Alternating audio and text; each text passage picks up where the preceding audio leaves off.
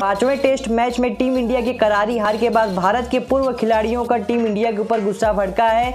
वहीं उन्होंने सलाह दे डाली है राहुल द्रविड़ को। चलिए आपको बताते उसी के बारे में। भारत के पूर्व सलामी बल्लेबाज वीरेंद्र सहवाग का मानना है कि राहुल द्रविड़ की कोचिंग वाली भारतीय टीम में कई समस्याएँ हैं, जिनका हल निकालने की ज़रूरत है। भारत को इंग्लैंड ने पाँचवें और आखिरी टेस्ट में सात विकेट से हराकर श्रृंखला दो दो से बराबरी की, जबकि भारतीय टीम श्रृंखला में पहले से ही दो एक से आगे थी और भारतीय टीम पांचवा टेस्ट मैच जीतने के बहुत नज़दीक थी। वहाँ से भारतीय टीम के हाथ से इंग्लैंड ने मैच छीन लिया। जी हाँ सहवाग ने लिखा है कि भारत के सामने कई मसले हैं।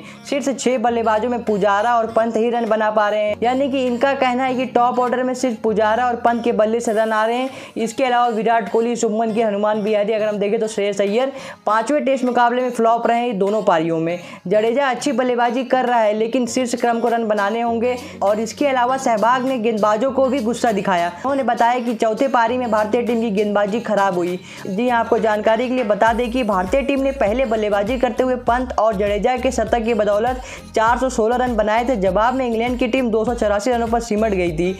भारतीय टीम दूसरी पारी में सिर्फ़ 245 रन ही बना पाई।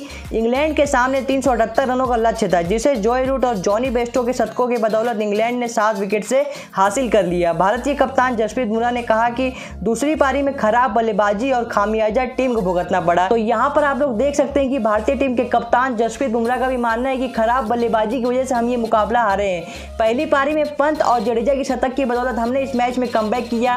पहले तीन दिन हमारे अच्छे रहे, बाद के दो दिन अगर हम अच्छा करते तो ये मुकाबला जीत जाते।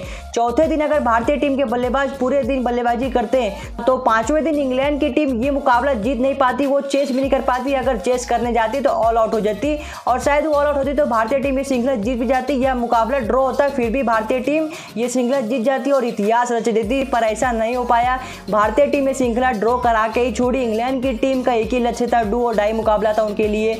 अगर वो ड्रॉ भी कराती, फिर भी श्रृंखला उनके हाथ से जाती। भारतीय टीम यहाँ पर दूसरी पारी में पूरी तरह फ्लॉप हुई गेंदबाजी और बल्लेबाजी को लेकर।